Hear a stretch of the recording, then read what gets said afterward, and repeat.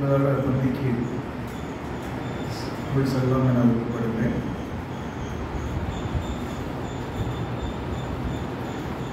ரோமர் ஆறாவது அதிகாரம். ரோமர் ஆறாவது அதிகாரம் மூன்றிலிருந்து ஐந்தாவது வசனங்களை நாம் வாசிக்கலாம். ரோமர் ஆறு மூன்று நான்கு ஐந்து கிறிஸ்து இயேசுவுக்குள்ளாக ஞானஸ்நானம் பெற்ற நாம் அனைவரும் அவருடைய மரணத்துக்குள்ளாக ஞானஸ்நானம் பெற்றதை அறியாமல் இருக்கிறீர்களா? கிறிஸ்து இயேசுவுக்குள்ளாக ஞானஸ்நானம் பெற்ற நாம் அனைவரும் அவருடைய மரணத்திற்குள்ளாக ஞானஸ்நானம் பெற்றதை அறியாமல் இருக்கிறீர்களா?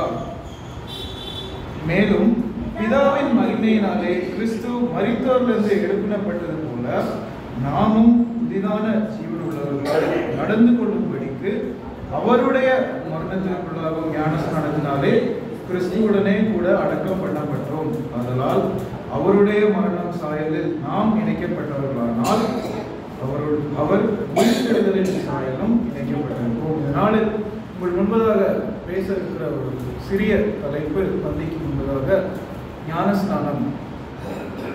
ஞானஸ்நானம் பெற்ற நாம் அனைவரும் வேதாகம் என்ன கூறுகிறது என்றால் இயேசு கிறிஸ்துவனுடைய மரணத்தில் நாம் உட்பிரவேசித்திருக்கிறோம்.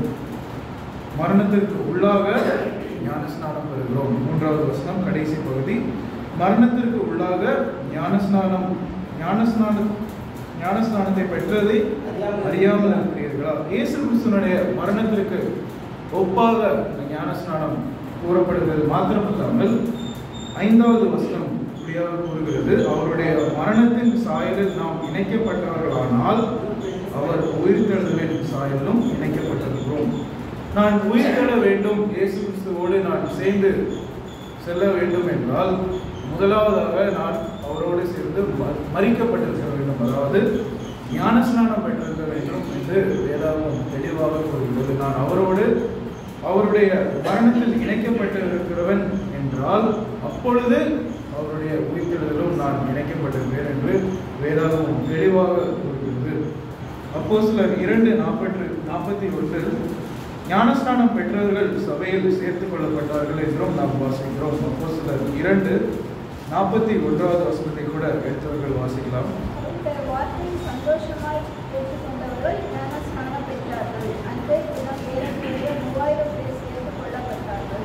ஞானஸ்நானம் பெற்ற அவர்கள் எல்லாரும் சபையில் சேர்த்துக் கொள்ளப்படுகிறார்கள் என்று நாம் இந்த பகுதியில் வாசிக்கிறோம். அவருடைய மரணத்தில் நாம் இணைக்கப்பட்டிருக்கும் போது அவருடைய மரணத்தின் சாயலாக இருக்கிற ஞானஸ்நானத்தை நான் பெறும் பொழுது அவரோடு சேர்ந்து உயிர்த்தெழுகிறேன். சபையில் நான் சேர்த்துக் கொள்ளப்படுகிறேன். அவருடைய சபையில் நான் சேர்த்துக் கொள்ளப்படுகிறேன். யோவான் மூன்றாவது அதிகாரம். யோவான் மூன்றாவது அதிகாரம் ஐந்தாவது வசனத்தை கூட நாம் வாசிக்கலாம். யோவான் மூன்று ஐந்து நூற்றி இருபத்தி ஏழாவது பக்கம். இயேசு பிரதித்திரமாக இயேசு பிரதித்திரமாக ஒருவன் ஜலத்தினாலும் ஆவியினாலும் பிரவாவிட்டால் ஒருவன் ஜலத்தினாலும் ஆவியினாலும் பிறவாவிட்டால் தேவனுடைய ராஜ்யத்தில் பிரவேசிக்க மாட்டான் என்றும் தேவனுடைய ராஜ்யத்தை பிரவேசிக்க மாட்டான் என்று மெய்யாகவே மெய்யாகவே மெய்யாகவே உனக்கு சொல்லுகிறேன். மறுபடியும் நான் பிறவாவிட்டால் அவருடைய ராஜ்யத்தை நான் காண்பதில்லை என்று ஒரு முறை அல்ல இரண்டு முறை மெய்யாகவே மெய்யாகவே உங்களுக்கு சொல்லுகிறேன் என்று தெளிவாக நமக்கு வசனம் கூறுகிறது. ஞானஸ்நானம் ஒவ்வொரு கிறிஸ்தவருடைய முக்கிய ஆரம்பமாக இருக்கிறது. அநேகர் அதை வந்து நடுப்பகுதி கடைசி பகுதி என்று நினைத்திருக்கிறார்கள். ஆனால் கிறிஸ்தவத்துடைய ஆரம்பம் அவருடைய சபையில் நான் சேர்த்துக் கொள்ளப்படுவதற்கு ஆரம்பமாக ஞானஸ்நானம் இருக்கிறது. மற்ற இருபத்தி எட்டாவது அதிகாரத்தை கூட நாம் வாசிக்கலாம். மற்ற இருபத்தி எட்டு பதினெட்டு பத்தொன்பது இருபது.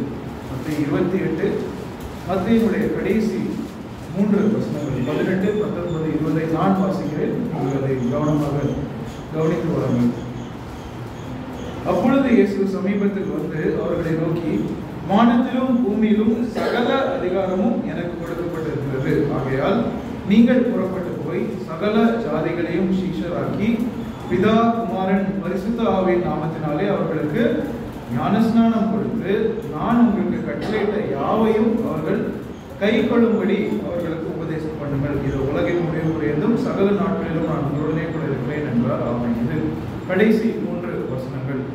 பத்தொன்பதாவது வசனத்தில் நாம் வாசித்தோம் என்றால் நமக்கு முதலாவதாக எல்லாரையும் போய் அவர்கள் என்ன செய்ய சொல்கிறார்கள் என்றால் ஒவ்வொருவருக்கும் ஞானஸ்நானம் கொடுத்து என்று அந்த அதிகாரம் அந்த வசனம் முடிகிறது. பத்தொன்பதாவது வசனம் கடைசி பகுதி. அவர்களுக்கு ஞானஸ்நானம் கொடுத்து நான் உங்களுக்கு கட்டளையிட்ட யாவையும் அவர்கள் கை கழுவும்படி ஞானஸ்நானம் கொடுத்து அப்புறம் அவர்கள் எல்லாரும் கட்டளை கட்டளை எல்லாம் அவர்களுக்கு சொல்லுங்கள் என்று ஒரு முக்கியமான ஆரம்ப பகுதியை நாளில் நாம் வாசித்துக் கொண்டிருக்கிறோம்.